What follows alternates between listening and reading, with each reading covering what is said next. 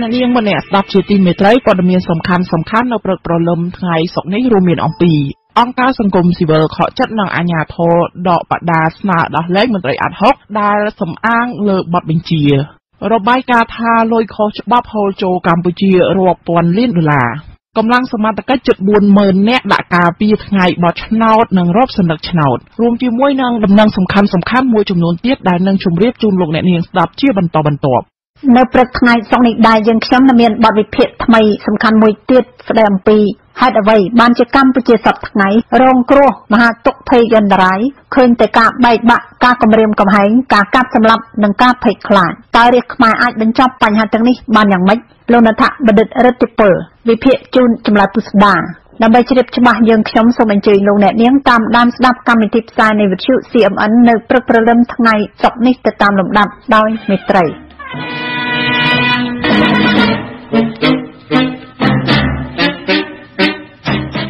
ជាកិច្ចចាប់ផ្ដើមនៃកម្មវិធីព័ត៌មានប្រចាំថ្ងៃរបស់វិទ្យុ CMN នៅព្រឹកព្រលឹមថ្ងៃសុក្រនេះនាងខ្ញុំសៅម៉ាសូមជូនខ្លឹមសារពឹស្ដារទៅតាមលំដាប់ដូចតទៅ។មន្ត្រីអង្គការសង្គមស៊ីវិលបង្ហាញការខកចិត្តទៅនឹងអាជ្ញាធរខេត្តកោះកុងដែលបានចុះដកហូតផ្ទាំងរូបសុំឲ្យដោះលែងមន្ត្រីការពារសិទ្ធិមនុស្សអាត់64រូបដែលកំពុងជាប់ពន្ធនាគារដោយមិនបានសំអាងពីផ្លូវច្បាប់ នៅប៉ុន្មានថ្ងៃនេះអាជ្ញាធរខេត្តកោះកុងបានចុះដកហូតនិងទម្លាក់ទាំងរូបភាពបិទនៅស្នាក់ការរបស់អង្គការនិងនៅតាមផ្ទះតំណាងសហគមន៍មួយចំនួននៅស្រុកស្រែអំបិលមន្ត្រីសម្របសម្រួលសមាគមអាត6ប្រចាំខេត្តកោះកុងលោកញៀបសំអឿនបានឲ្យដឹងថា ការដែលអាជ្ញាធរចោះដកហូតនិងទម្លាក់បដារូបភាពនេះលោកថាទាំងអាជ្ញាធរស្រុកទាំងអាជ្ញាធរខេត្តមិនបានបញ្ជាក់ថាចំណាត់ការនោះពឹងផ្អែកទៅលើច្បាប់អ្វីនោះទេដែលគ្រាន់តែអះអាងថាពួកគាត់ធ្វើតាមបញ្ជារបស់ថ្នាក់លើលោកញៀបសំអឿនបានបង្ហាញការខកចិត្តនៅក្នុងនាមជាអាជ្ញាធរដែនដីតំណាងឲ្យរដ្ឋាភិបាលផង គួរតែយកច្បាប់មកអនុវត្តមិនគួរសំអាងត្រឹមបញ្ហាពីថ្នាក់លើនោះទេ មន្ត្រីអង្គការសង្គមស៊ីវិលរូបនោះបានហៅចំណាត់ការបែបនេះថាជាការរំលោភលើសិទ្ធិសេរីភាពបញ្ចេញមតិដោយសន្តិវិធី ពិសេសលោកថា រំលោភសិទ្ធិអង្គការសង្គមស៊ីវិលដែលតែងតែសហការជំវិញអភិបាលកិច្ចលោកញៀបសំអឿនជំរុញឲ្យអាជ្ញាធរពិចារណាករណីនេះឡើងវិញដើម្បីឲ្យដូចទៅនឹងអ្វីដែលរដ្ឋាភិបាលធ្លាប់លើកឡើងពីគោលការណ៍ពង្រឹងនីតិរដ្ឋ ប្រធានគ្រប់គ្រងផ្នែកអង្គការនៅអង្គការលីកាដូលោកអំសំអានលើកឡើងដែរថាបដារូបភាពនោះបានបិទនៅស្នាក់ការរបស់អង្គការមួយចំនួននៅក្នុងខេត្តនេះនិងផ្ទះតំណាងសហគមន៍មួយចំនួន នៅក្នុងឃុំជីខលើស្រុកស្រែអំបិលប្រមាណជាង2ខែមកហើយលោកថាការបិទនូវទៀតសោតគឺមិនមានបង្ហាញសញ្ញាណាមួយបង្កឡើងដោយអសន្តិសុខដោយការអះអាងរបស់អាជ្ញាធរនោះដែរ។ លោកអំសំអាតលើកឡើងទៀតថាបដារូបភាពនោះហាក់បង្ហាញពីការតស៊ូមតិបែបស្ងប់ស្ងាត់លោកថាចំណាត់ការនោះរំលោភទៅលើសិទ្ធិសម្ដែងមតិដោយសន្តិវិធីនិងសិទ្ធិទទួលបានព័ត៌មានបាទតាមលោកអំសំអាតការដែលមន្ត្រីអង្គការសង្គមស៊ីវិលនិងប្រជាពលរដ្ឋយករូបភាពបដាទៅបិទនៅស្នាក់ការនិងផ្ទះរបស់ពួកគេគ្រាន់តែបង្ហាញថាពួកគេមិនពេញចិត្តទៅនឹងការបន្តឃុំខ្លួនមន្ត្រីអាត6មន្ត្រីកោជបនិងសកម្មជនដីធ្លី ដែលស្នើឲ្យរដ្ឋាភិបាលពិចារណាដោះស្រាយអំពីកង្វល់របស់ពួកគេ ដែលលោកថាមានចែងនៅក្នុងច្បាប់រដ្ឋធម្មនុញ្ញមាត្រា35ចែងថាពលរដ្ឋខ្មែរទាំងពីរភេទមានសិទ្ធិចូលរួមយ៉ាងសកម្មនៅក្នុងជីវភាពនយោបាយសេដ្ឋកិច្ចសង្គមគិច្ចនិងវប្បធម៌របស់ប្រទេសជាតិសេចក្តីស្នើទាំងឡាយណារបស់ប្រជាពលរដ្ឋត្រូវបានទទួលការពិនិត្យនិងដោះស្រាយយ៉ាងម៉ត់ចត់ពីអង្គការរដ្ឋ នាយកប្រតិបត្តិមជ្ឈមណ្ឌលសម្ព័ន្ធភាពការងារនិងសិទ្ធិមនុស្សលោកមឿនដុល្លារហើយចំណាត់ការរបស់អាជ្ញាធរនេះថាជាការបង្ហាញសាច់ដុំច្រើនជាងការអនុវត្តច្បាប់លោកថាចំណាត់ការបែបខ្លាចស្រមោលខ្លួនឯងនេះនឹងធ្វើឲ្យប៉ះពាល់ដល់មុខមាត់រដ្ឋាភិបាលទោះយ៉ាងណាមន្ត្រីសម្របសម្រួលអាត6លោកញៀបសំអឿនបានអះអាងថាស្នងការខេត្តកោះកុងលោកសំគិតវៀន អ្វីបើលោកមិនបានប្រាប់ថាការចោទដកហូតទាំងរូបភាពមន្ត្រីអាត6កំពុងជាប់ឃុំនោះមិនបានបញ្ជាក់ថាផ្អែកទៅលើច្បាប់អីក៏ដោយប៉ុន្តែលោកថាការដកហូតគ្រាន់តែជាការដកហូតបណ្ដោះអាសន្នដោយរងចាំពិភាក្សាគ្នានៅពេលក្រោយទោះយ៉ាងណាអាត់ហុកអះអាងថាពួកគេនឹងបន្តយកទាំងរូបភាពនោះឡើងវិញបើសិនជាអាជ្ញាធរមិនអាចរកច្បាប់ណាមកសំអាងទៅលើចំណាត់ការរបស់ពួកគាត់បាន។ ដកមេឃុំអាយ៉ងដាក់ចំនួនថ្មីវិញម្ដង នៅមេឃុំបំរើខ្មែរជារបាយការណ៍អង្គការអន្តរជាតិមួយបានរកឃើញថាលំហូរលុយខុសច្បាប់បានហូរចូលមកកម្ពុជារាប់ពាន់លានដុល្លារអាមេរិកនៅក្នុងរយៈពេលមួយទសវត្សរ៍ចុងក្រោយនេះយោងតាមរបាយការណ៍របស់អង្គការសុចរិតភាពហិរញ្ញវត្ថុពិភពលោក ស្ដីអំពីលំហូរ ហិរញ្ញវត្ថុខុសច្បាប់ពីបណ្ដាប្រទេសកំពុងអភិវឌ្ឍឆ្នាំ2003ដល់ឆ្នាំ2014រកឃើញថាចាប់តាំងពីឆ្នាំ2005រហូតដល់ឆ្នាំ2014លំហូរលុយកខ្វក់បានហូរចូលកម្ពុជាចន្លោះពី17ទៅ39%នៃពាណិជ្ជកម្មសរុបចំណែកសម្រាប់តែឆ្នាំ2014ប៉ុណ្ណោះលំហូរហិរញ្ញវត្ថុខុសច្បាប់បានហូរចូលកម្ពុជា ចន្លោះពី4ទៅ15%នៃពាណិជ្ជកម្មសរុបរបាយការណ៍នេះបញ្ជាក់ទៀតថាលំហូរលុយខុសច្បាប់នេះគឺដោយសារតែមិនបានកត់ត្រានិងចុះបញ្ជីឲ្យបានត្រឹមត្រូវចំពោះទំនិញនាំចូលមកកម្ពុជាបាទតាមរបាយការណ៍នេះលំហូរទឹកប្រាក់នៃការនាំចូលទំនិញរបស់កម្ពុជា កាលពីឆ្នាំ2014មិនដែលមិនត្រូវបានកត់ត្រាត្រឹមត្រូវនោះអាចជាទំហំទៅដល់3.6ពាន់លានដុល្លារសហរដ្ឋអាមេរិកអង្គការសុចរិតភាពពិភពលោក បានលើកឡើងថាបើគិតត្រឹមឆ្នាំ2014លំហូរលុយខុសច្បាប់ចូលមកកម្ពុជាមានទៅដល់45,000លានដុល្លារដែលធ្វើឲ្យកម្ពុជាខាតបង់ពីការវិស័យបង់ពន្ធយ៉ាងហោចណាស់300លានដុល្លារនៅក្នុងមួយឆ្នាំអ្នកនាំពាក្យក្រសួងពាណិជ្ជកម្មលោកស្រីសឹងសុផារីបានឲ្យដឹងថារបាយការណ៍របស់អង្គការសុចរិតភាពពិភពលោកបង្ហាញភាពត្រឹមត្រូវខ្លះដែរ ប៉ុន្តែលោកស្រីថាវាគ្រាន់តែជាជ្រុងមួយប៉ុណ្ណោះដែលថាកម្ពុជាជាប្រទេសសេដ្ឋកិច្ចពឹងផ្អែកទៅលើការទូទាត់ជាសាច់ប្រាក់លោកស្រីបានមានប្រសាសន៍ទៀតថាបញ្ហាលាងលុយកខ្វក់ឬក៏លំហូរហិរញ្ញវត្ថុខុសច្បាប់នោះតែងតែកើតមាននៅក្នុងប្រទេសកំពុងអភិវឌ្ឍនិងថាកម្ពុជាក៏ជួបប្រទះដែរព្រោះកម្ពុជាទៅងើបពីភ្នក់ភ្លើងសង្គ្រាមតំណាងរាជគណៈបកសង្គ្រោះជាតិលោកសុនឆៃយល់ថា ការបាត់បង់ចំណូលជាតិនិងលំហូរហិរញ្ញវត្ថុខុសច្បាប់នេះគឺបណ្ដាលមកពីរដ្ឋាភិបាលពុំមានប្រព័ន្ធគ្រប់គ្រងហិរញ្ញវត្ថុលើការនាំចេញនាំចូលទំនិញឲ្យបានត្រឹមត្រូវការកេងបន្លំរបស់មន្ត្រីខលខូចការធ្វេសប្រហែសនិងអំពើពុករលួយនៅក្នុងជួររដ្ឋមន្ត្រីរដ្ឋាភិបាលលោកបន្តថាអំពើពុករលួយនៅតែបន្តកើតមាននៅតាមតំបន់ជាប់ព្រំដែនដោយសារតែទាំងមន្ត្រី នោះចេះតែខុបខិតគ្នានិងលួចបន្លំជាមួយពាណិជ្ជករដោយមិនបានចុះបញ្ជីទំនិញឲ្យបានត្រឹមត្រូវលោកសុនឆៃបានមានប្រសាសន៍បន្ថែមថាដើម្បីកែសម្រួលនិងដោះស្រាយបញ្ហានេះរដ្ឋាភិបាលគួរតែពង្រឹងការអនុវត្តច្បាប់រៀបចំឲ្យមានប្រព័ន្ធហិរញ្ញវត្ថុគ្រប់គ្រងឲ្យបានមានប្រសិទ្ធភាពទូទាត់ការនាំចេញនាំចូលទំនិញដោយមានវិក័យប័ត្រត្រឹមត្រូវនិងកែលម្អនីតិវិធីនៃការប្រមូលពន្ធគយដើម្បីរកចំណូលបន្ថែមចូលរដ្ឋ របាយការណ៍របស់អង្គការសុចរិតភាពហិរញ្ញវត្ថុពិភពលោកបានធ្វើការស្រាវជ្រាវនិងវាស់វែងការទេប្រាក់ដោយមិនបានចុះបញ្ជីចូលក្នុងប្រទេសកំពុងអភិវឌ្ឍចំនួន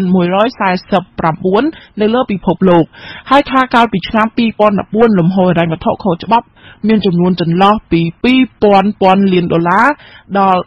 3.5000ពាន់លានដុល្លារនៅក្នុងប្រទេសដែលកំពុងអភិវឌ្ឍផងដែរ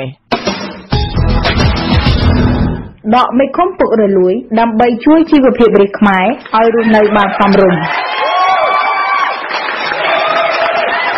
ក្រសួងមហាផ្ទៃរៀបចំកងកម្លាំងជិត40000នាក់ដើម្បីបែងចែកការពារកម្លាំងតាមការិយាល័យបោះឆ្នោត និងរាប់សន្លឹកឆ្នោតនៅទូទាំងប្រទេសកម្ពុជាសម្រាប់ការបោះឆ្នោតក្រុមប្រឹក្សាឃុំសង្កាត់នៅពេលខាងមុខនេះ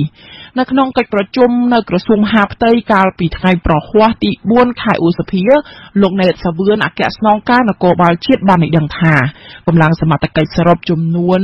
30000 7530នាក់ក្នុងចំណោមនោះមានកងកម្លាំងនគរបាលចំនួន35043នាក់កម្លាំងកងរាជអាវុធហត្ថ643នាក់និងកងយុទ្ធពលខេមរៈភូមិន្ទ1844នាក់ បានត្រៀមខ្លួនដើម្បីចូលរួមនៅក្នុងការថែរក្សាសវត្ថិភាពនៅពេលបោះឆ្នោតនិងការរាប់សន្លឹកឆ្នោតការបោះឆ្នោតជ្រើសរើសក្រុមប្រឹក្សាឃុំសង្កាត់អាណត្តិទី4នឹងប្រព្រឹត្តទៅ នៅថ្ងៃទី4ខែមិថុនាឆ្នាំ2017ខាងមុខនេះដកមេឃុំអាងអំណាចដើម្បីបញ្ចប់ការភ័យខ្លាចរបស់រីខ្មែរនៅទូទាំងប្រទេស សាលារាជធានីភ្នំពេញបានឲ្យដឹងថាមហាវិថីមួយចំនួននៅរាជធានីភ្នំពេញមិនត្រូវបានអនុញ្ញាតឲ្យធ្វើការឃោសនាបោះឆ្នោតនោះទេដោយថាការឃោសនាទាំងនោះអាចនឹងនាំឲ្យមានការកកស្ទះចរាចរណ៍នៅពេលហែកក្បួនអ្នកនាំពាក្យសាលារាជធានីភ្នំពេញលោកមេតមាសភក្តីបានឲ្យដឹងថាសាលារាជធានីភ្នំពេញបានធ្វើលិខិតដាក់ផ្ញើទៅកាន់គណៈកម្មាធិការជាតិរៀបចំការបោះឆ្នោតដើម្បីសូមស្នើគោលការណ៍ពីគណៈកម្មាធិការជាតិដើម្បីហាមមិនឲ្យមានការឃោសនាបោះឆ្នោតនៅលើមហាវិថីសំខាន់សំខាន់និងផ្លូវមួយចំនួនដើម្បីបញ្ជ្រាបនៅការកកស្ទះចរាចរណ៍លោកបានឲ្យដឹងទៀតថាមហាវិថីនោះមានដូចជាមហាវិថីនរោត្តមមហាវិថីសហព័ន្ធរុស្ស៊ីនិងផ្លូវជុំវិញផ្សារនានានៅរាជធានីភ្នំពេញទោះយ៉ាងនេះក្តីលោកថាការស្នើនេះមិនទាន់មានការឆ្លើយតបយ៉ាងណាពីគោជបនៅឡើយទេគូបញ្ជាក់ផងដែរថាការឃោសនាបោះឆ្នោតក្រុមប្រឹក្សាគុំសង្កាត់អាណត្តិទី4ឆ្នាំ2017នឹងប្រព្រឹត្តទៅចាប់ពីថ្ងៃទី20ខែឧសភាដល់ថ្ងៃទី2ខែមិថុនាឆ្នាំ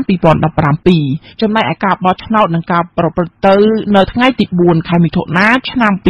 2017ចាលោកអ្នកនាងមអ្នកស្ដាប់ជាទីមេត្រីព័ត៌មានសំខាន់សំខាន់នៅព្រឹកព្រលឹមថ្ងៃសុក្រនេះដែលរាយការណ៍ជូនដោយនាងខ្ញុំសោមាសូមបញ្ចប់ត្រឹមតែប៉ុណ្ណេះ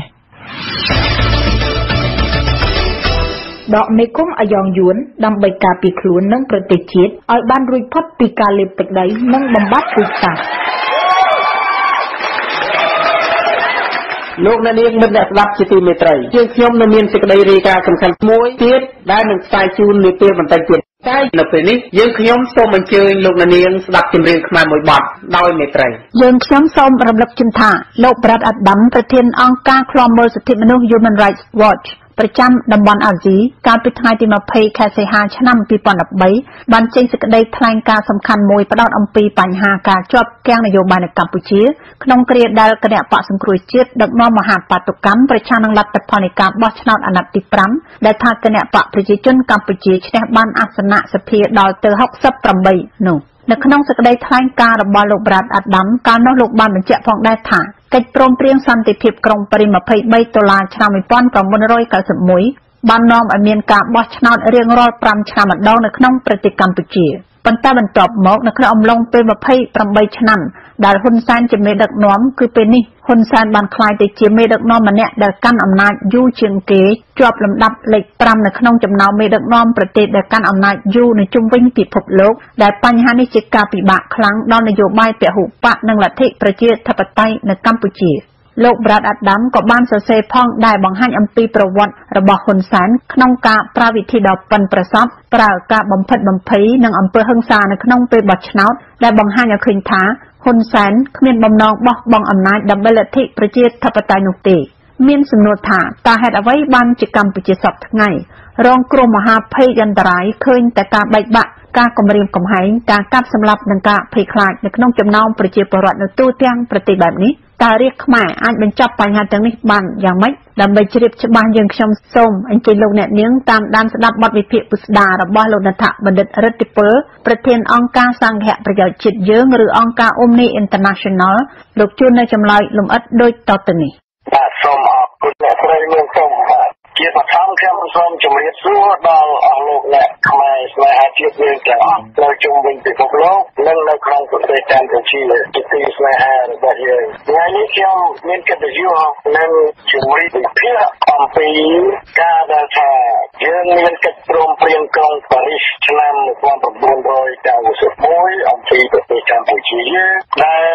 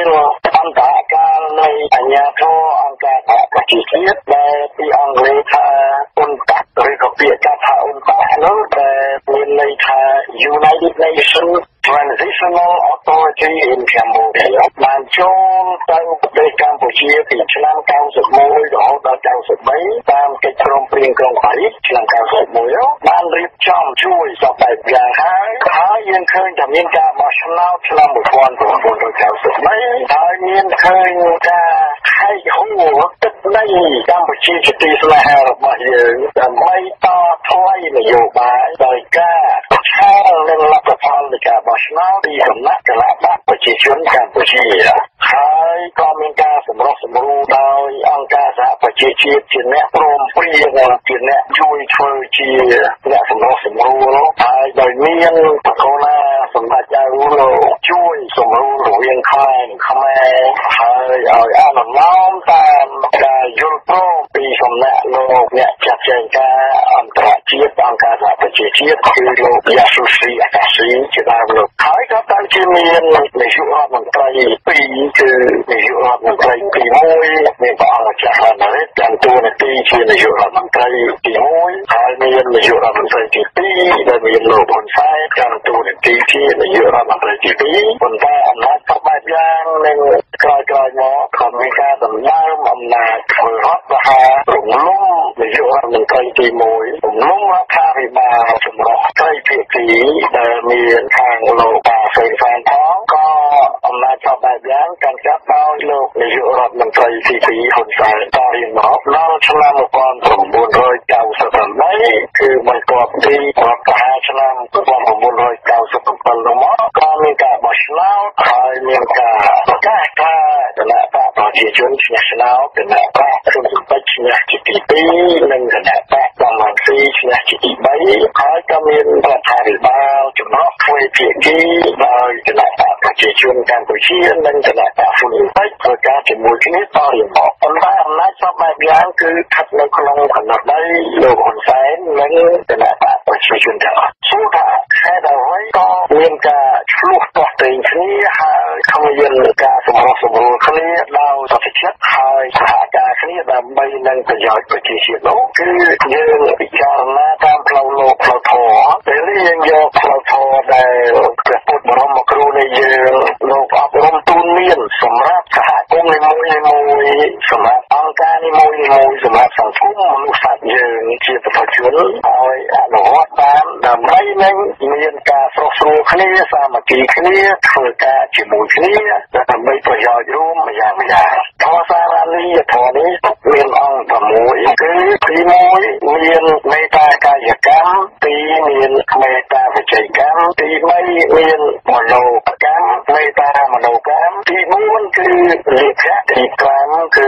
សីលាទី6គឺទីខិ ធម៌សាមគ្គីស្រស់ស្រួលគ្នានេះគឺយើងយកមកពិចារណាអំពីករណីប្រវត្តិសាស្ត្រសម័យថ្មីនៃប្រទេសជាតិកម្ពុជាយើងគឺក្រុមថ្នាក់ដឹកនាំរដ្ឋាភិបាលកម្ពុជាយើងគ្មានបានរៀនសូត្រគ្មានបានយកព្រះធម៌ដ៏ល្អប្រសើរទាំងឡាយមានធម៌សារនីយធម៌ជាដើមនេះមកពិចារណាទេយើងសូមធ្វើការបកស្រាយខ្លះៗ ធម៌សារនីយធម៌នេះយើងសូមបកស្រាយទៅខាងចុងត្រឡប់មកវិញពីព្រោះជាបាលីលោកបានទេសនាបានប្រទានជាអវាទបានពី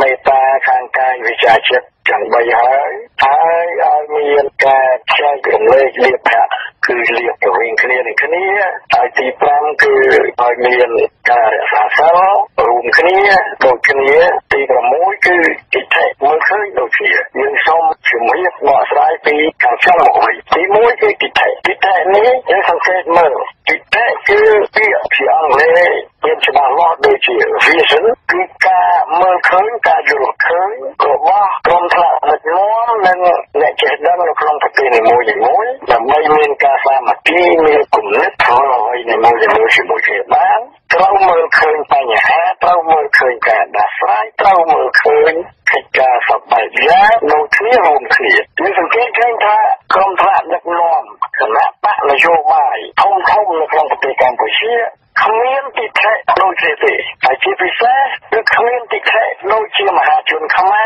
โปรแกรมประเทศដូចជាការដែលសេចក្តីត្រូវការនិងសភាពការជាក់ស្ដែងដែលប្រទេសជាតិយើងបានរងគ្រោះហើយកើតជាបញ្ហាមហាទុក្ខយន្តរាយរហូតដល់សប្តាហ៍នេះគឺ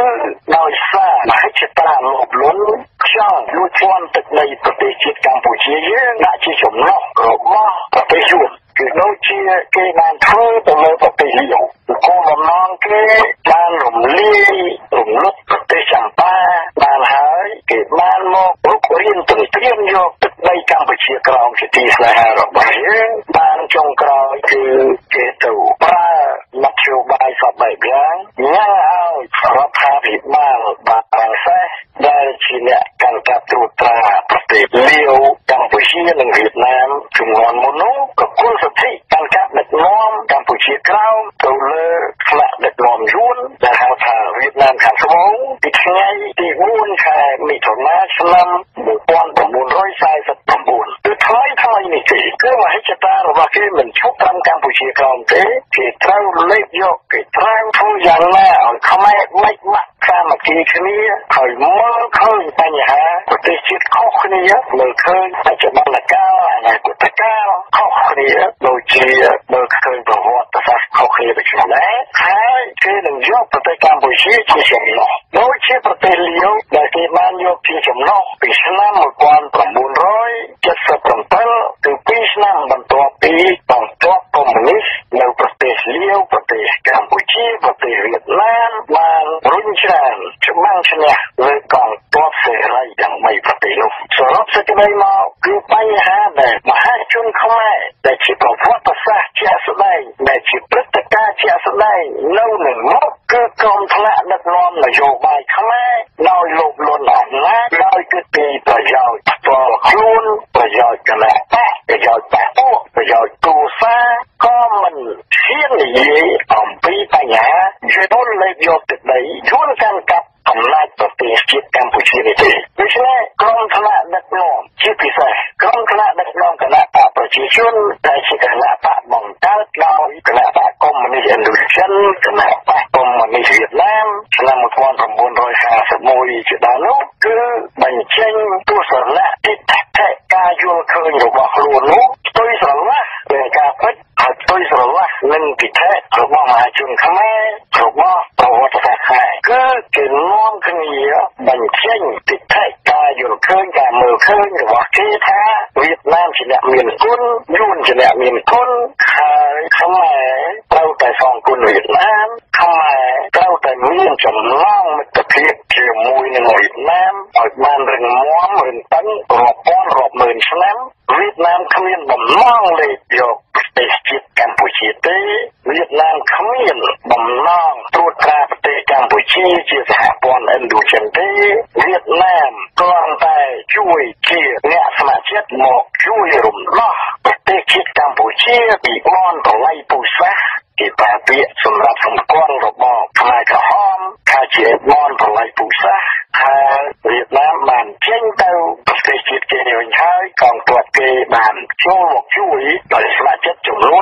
पिछला से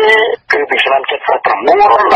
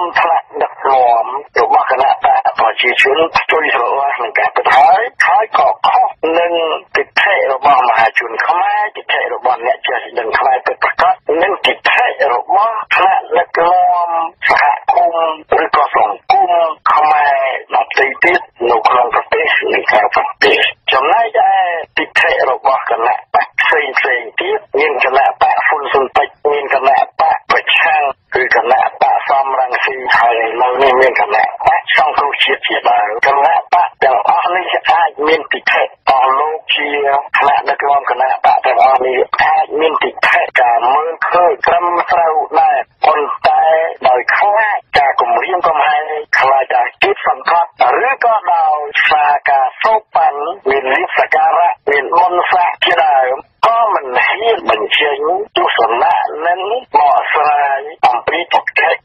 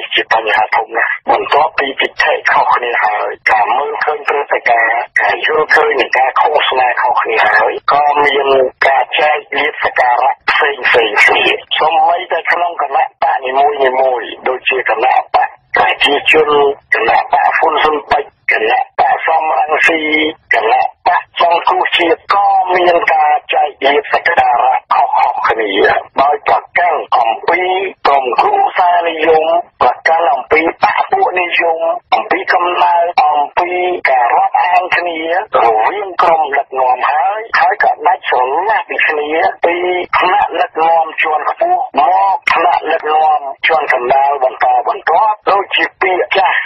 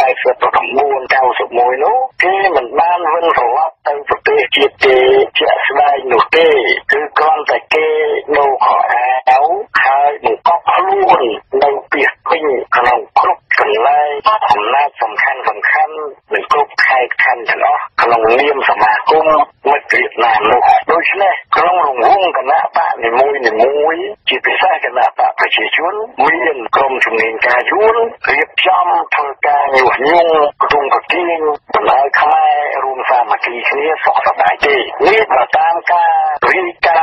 หนึ่งตามพฤติการยิงสังเกตมืออยกมืองยืยอยู่เคยเป็นอย่างนี้ไานิสเชียอยู่มองเราบอกยืนยืนช่วยการวิเทียคือ này ai không cả đây thì không cả nhung nhung phụ tung phụ tiên này hả để cái nom ao con ra nó còn không ai để không này nó chỉ nhắc không yên phân là thò nhắc không yên ra mà kỳ thò สลัองลูกก็เชื่อโชว์ฮอลงอนเตะกายุ่งยุ่งบ่ไม่บ่มาหรือบมาเกยังยิ่งสู้โดยเฉพาะการใจเรียบสการะเดินเคินครับใจเหมือนสมาคเนียไทยเคลื่อนแต่ใจว่าดรากรมพระด็กน้อมกันลาวกันนาวท้องก็มันล่าเอาเมี่ยงกาปุ๊บรู้ยิ่งกากิ้งของวันกรุ๊ปสดตัวพระด็กน้อมกรุ๊ปจวนพระเด็กน้อม เทศกัมพูชีมันตอบมาเทียคืออังมวยสำคัญเตียนู้คือไซหละกรมพระนักนอเราแต่เมียนสลโนชนี่มาอังกาในมวยในมวยกันนะปะในมวยในมวยสังกุมในมวยในมวยสหกุมในมวยในมวยไอ้จนอมอ้จมาตามคณียบมานโดยสกสันจะเทียบมากรมพระนักนอมพระเลยขมิ้นสลัดทอขมิ้นกาปะเด็กมากสลัดในกายกรรมแพล កកម្មផ្នែកមនោកម្មសពបែបយ៉ាងហើយនោះហើយក្រុមថ្នាក់ដឹកនាំកម្លាកម្លាក៏មិនអាចមានបានដែរពីព្រោះក្នុងថ្នាក់ដឹកនាំជាន់ខ្ពស់ត្រូវតែធ្វើគំរូគេហើយក្នុងថ្នាក់ដឹកនាំជាន់ខ្ពស់នៃគណៈបកនីមួយនីមួយយើងសង្កេតឃើញថាគ្មានសិលធម៌គ្មានធម៌វិន័យក្នុងខ្លួនគ្មានបដិបត្តិធម៌ព្រះពុទ្ធ សាសនាពិតប្រាកដទេនាំគ្នាទៅធ្វើបុណ្យដើម្បីនឹងជាការល្អមើលឬជាការបន់ស្រន់ឬជាការប្រាថ្នាសូមឲ្យ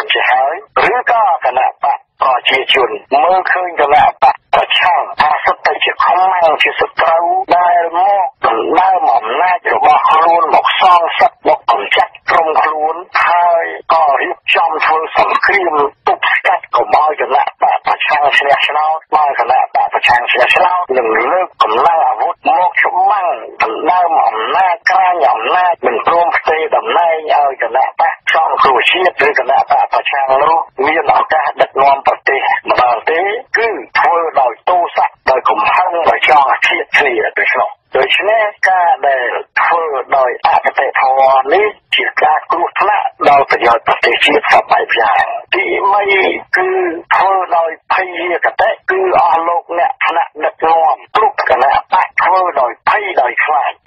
គណៈបកប្រ ជាជនកម្ពុជាធ្វើសពបែបយ៉ាងដឹងឬមិនដឹងក៏ដោយត្រូវតែធ្វើតាមជំនាញការយួនត្រូវតែធ្វើតាមគណៈបកបងធំវៀតណាមគឺ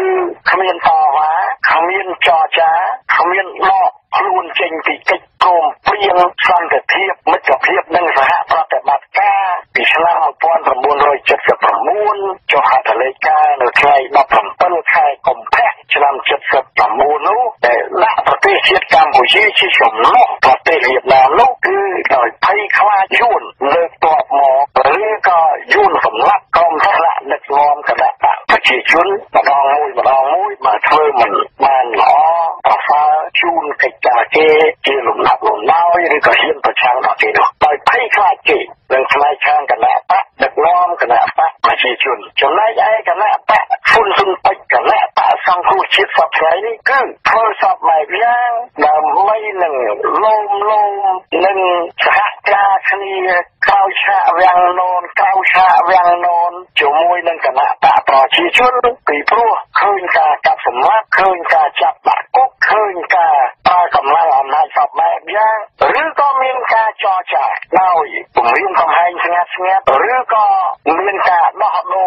มาย่างมาย่างมาละหายกรุ๊ปกันนะตาจังหรอคลาดกันนะตาต่อชีชุนให้กันนะตาต่อชีชุนคลาดกันนะตาเวียดนามโดยเฉพาะចេះធ្វើសពបែបយ៉ាងសពថ្ងៃដោយភ័យខ្លាចបន្តបន្តគ្នាទី4គឺមោហាគតិធ្វើដោយងងឹតងងល់ដោយមិនដឹងដោយមិនយល់នេះមិនសំដៅលើឋានៈដឹកនាំកម្ពុជារបស់គណៈបកម្យ៉ាងម្យ៉ាងទេគឺសំដៅលើអ្នកដឹកនាំបន្តបន្តដែលមិនដឹងកិច្ច ការផ្ទៃក្នុងស៊ីជម្រៅដូចជាគណៈបកប្រជាជនកម្ពុជាជាប់អន្តរយួនហើយមានការគម្រាមកំហែងមានការ จะตู้เรียบสการะมินกาถึงนี้สอบใบย่างปีจุลินกาปีกนาปะนักนอนแทนดูฉันคือกนาปะตอมันมีเวียดนามเชียดนามและได้ทั้งกามันต่อมันตัวที่ปิศาจยู่ชุนหนึ่งมาจะทานกันน้าหรืะบบคณะแปดประชิชนเชีดนาม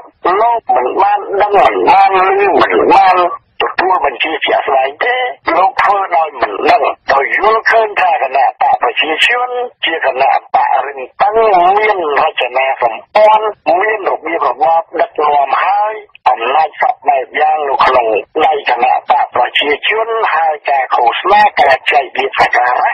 ការរៀបចំសពបែបយ៉ាងសុខសប្បាយហើយមានតែគណៈបកប្រជាជនទេដែលអាចដោះស្រាយសពបែបយ៉ាងនោះបានក៏ធ្វើដោយមោហៈកតិ I'm Diamond Lang, like take off your mock, okay,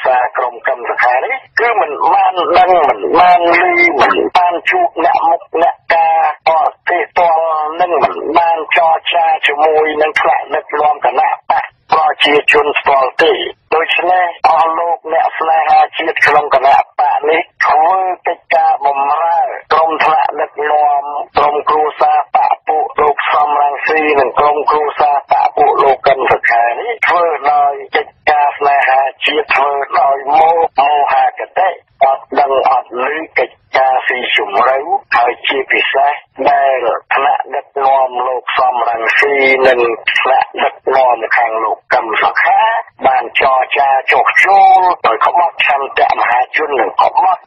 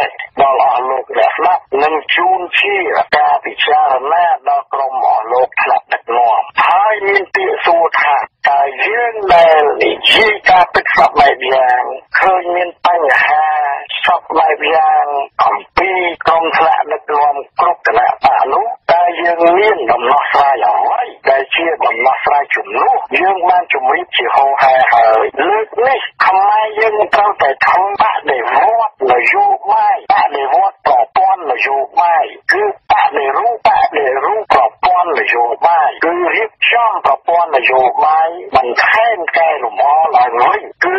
យើងសូមឲ្យអស់លោកគ្រប់គណៈប្រតិបត្តិទទួលស្គាល់ថាក្រុមខ្លះដឹកនាំរបស់អស់លោកខ្វះសិលធម៌ខ្វះឧត្តមគតិជាតិខ្វះសមាធិកាយយល់ឃើញប្រយោជន៍ប្រទេសជាតិ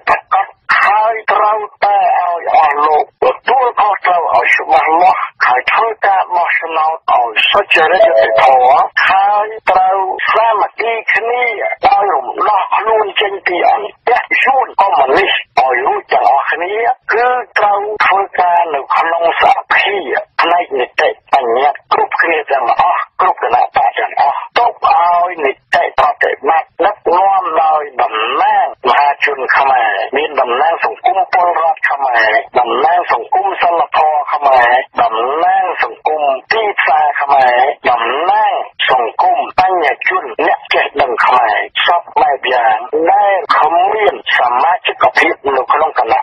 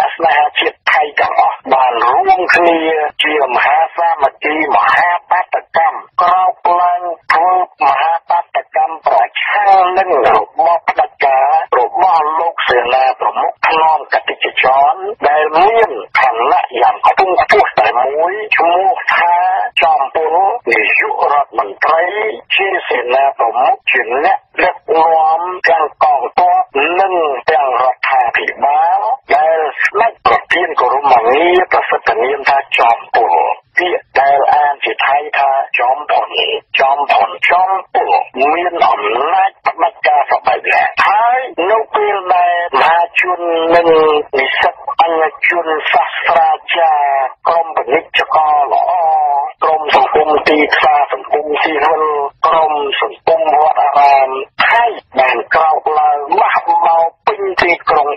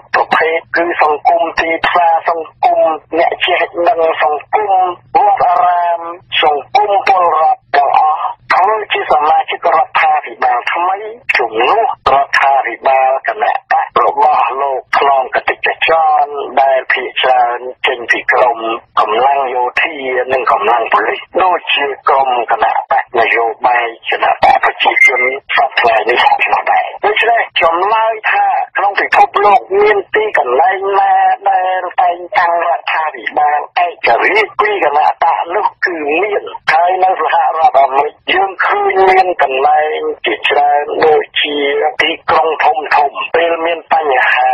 គណៈបកប្រកាន់គ្នាពេកគេជឿអ្នកដឹកនាំដែលឯករាជ្យពីគណៈបកធ្វើជាប្រមុខរដ្ឋាភិបាលនៅក្នុងទីក្រុងធំធំនោះហើយទីក្រុងសហរដ្ឋអាមេរិកនីមួយៗមានប្រជាពលរដ្ឋរាប់លានអ្នក10 20លានអ្នកជាដើមដូច្នេះសូមអស់លោកអ្នកដែលជាអ្នកស្ដាប់សូមកុំលុកក្នុងកន្លងឃោសនាអកុសលរបស់គណៈបកនីមួយមួយមួយថាដូចជាគណៈបកប្រជាជនគណៈដឹកនាំគណៈបកប្រជាជនប្រកាសក្តែងក្តែងថាត្រូវតែបោះឆ្នោតឲ្យគណៈបកប្រជាជនឲ្យឈ្នះបើមិនឈ្នះទេបោះឆ្នោតឲ្យគណៈបកមកខាងទៀតមានសង្គ្រោះជាតិជាដើមនិងមានចំមាំងរាំងជួរធ្វើមិនឲ្យមានសន្តិភាពទេពីព្រោះខ្លួនឯងជាអ្នកកាន់អំណាច từ ក្រុមគណៈបកប្រជាជននេះមិនអាចចុះចេញទេពីព្រោះគណៈបកប្រជាជនជាគណៈបកអ្នកមានគុណជាគណៈបករៀបចំសពបែបយ៉ាងក្នុងប្រទេសកម្ពុជារហូតដល់មានសន្តិភាពអស់មានខ្មែរក្រហមអស់មានបញ្ហាអ្វីសពបែបយ៉ាងគឺដោយសារគណៈបកប្រជាជនទាំងអស់នេះជាការឃោសនាអកុសលគ្មានការពិតទេដូច្នេះសូមអស់លោកម្ខាងម្ខាងមេត្តាយល់ឲ្យច្បាស់លាស់រឿងនេះម្ខាងទៀតអស់ លោកថ្នាក់ដឹកនាំគណៈបកសង្គ្រោះជាតិឃោសនាថាមហាជនខ្មែរគ្មានជំរឿសទេបើចង់រំដោះខ្លួនពីគណៈបកថ្នាក់ដឹកនាំផ្ដាច់ការគណៈបកប្រជាជនសពថ្ងៃនេះត្រូវតែបោះឆ្នោតឲ្យគណៈបកសង្គ្រោះជាតិហើយខ្លួនឯងមិនទៅហ៊ានឃោសនាថានៅក្នុងស្ថានភាពសពបែបយ៉ាងសពថ្ងៃនេះគឺប្រទេស ជាតិកម្ពុជាស្ថិតនៅក្នុងកំណត់ដៃយួនប្រជាជនយួនមានច្រើនលើសលប់គឺអាចស្មើនឹងប្រជាជនខ្មែរចំនួន7 8លានអ្នកទៅហើយលោកសំរងស៊ីផ្ទាល់ខ្លួនសហការជាមួយនឹងក្រសួងមហាផ្ទៃឃោសនាស្ដែងស្ដែងជាក់ស្ដែងថាចំនួនប្រជាជនយួននៅក្នុងប្រទេសកម្ពុជាមានតែ50ម៉ឺនអ្នកទេគឺទុយនឹងការពិតទាំងអស់មិនដឹងជាការដែល លោកសំរងស៊ីនឹងទៅសងគំនិតគ្នាជាមួយនឹងលោកសខេងឬក៏ជាមួយនឹងគណៈដឹកនាំយួនដែលគាត់ទៅប្រទេសយួនខាងណូយឆ្នាំ2000 2001នោះយ៉ាងម៉េចទេគាត់ត្រឡប់មកវិញគាត់និយាយឃោសនាទេសនាប្រាប់ខ្មែរថាខ្មែរត្រូវរៀនសូត្រពីប្រទេសវៀតណាមរៀបចំសង្គមប្រទេសយើងឲ្យល្អដូចជាគេរៀបចំប្រទេសវៀតណាមហើយគាត់ធានាទៅដល់ថ្នាក់ដឹកនាំវៀតណាម ថាពេលដែលគាត់ឈ្នះឆ្នោតគណៈបកគាត់នឹងរៀបចំប្រទេសកម្ពុជាឲ្យសហការគ្នាជាមួយនឹងប្រទេសវៀតណាមឲ្យមានការល្អប្រសើរជាងសហការជាងការដែលថ្នាក់ដឹកនាំគណៈបកប្រជាជនធ្វើសពបែបថ្ងៃសពបែបយ៉ាងនេះផងដូច្នេះនិយាយទៅយើងគ្មានការទុកចិត្តលើថ្នាក់ដឹកនាំខាងលោកសំរងស៊ីខាងលោកកឹមសុខាខាងលោកគណៈ បកប្រជាជនម្ខាងទៀតនោះទេ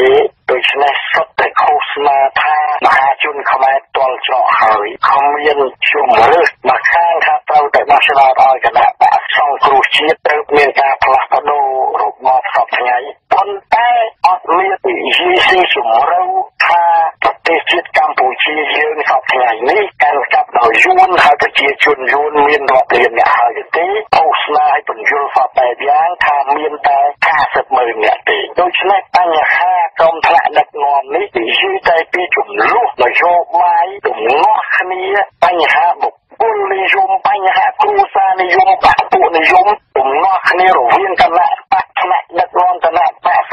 ជាតិនិងថ្នាក់ដឹកនាំគណៈបកប្រជាជនខ្មែរហើយនិងខ្មែរនេះទេ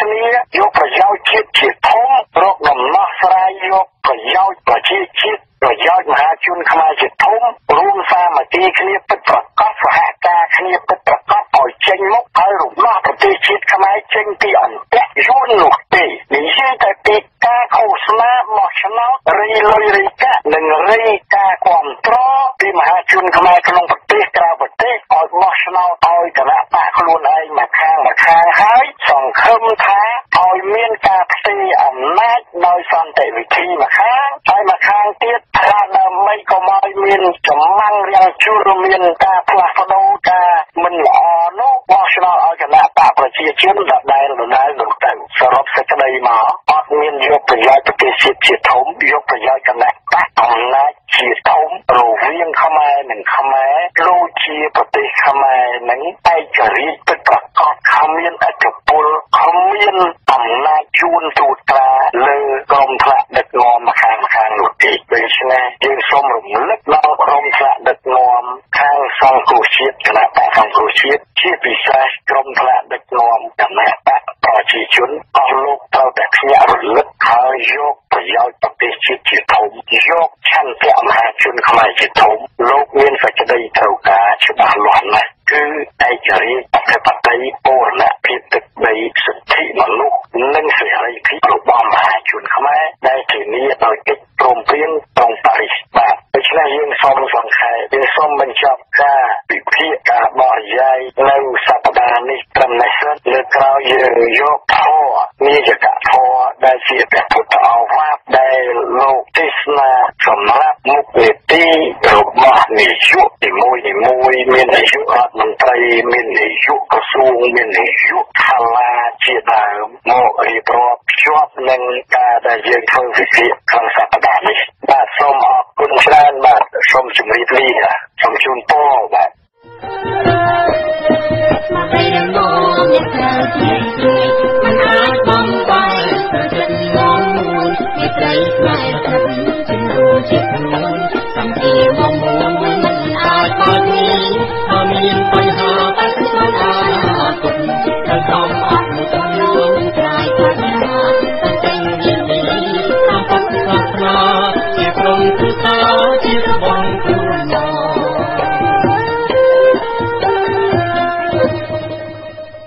លោកអ្នកនាងមិត្តអ្នកស្ដាប់ជាទីមេត្រីមកដល់ពេលនេះយើងខ្ញុំសូមបញ្ចប់កម្មវិធីផ្សាយវិទ្យុ CMN នៅព្រឹកនេះតែត្រឹមនេះខ្ញុំបាទគង់សម្រេចនិងសហការីរបស់យើងខ្ញុំសូមជូនពរឲ្យលោកអ្នកនាងអ្នកស្ដាប់ទាំងអស់ប្រកបតែនឹងពុទ្ធពរទាំង4ប្រការកុំបីឃ្លៀងឃ្លាតឡើយយើងខ្ញុំសូមអរគុណនិងសូមជម្រាបលា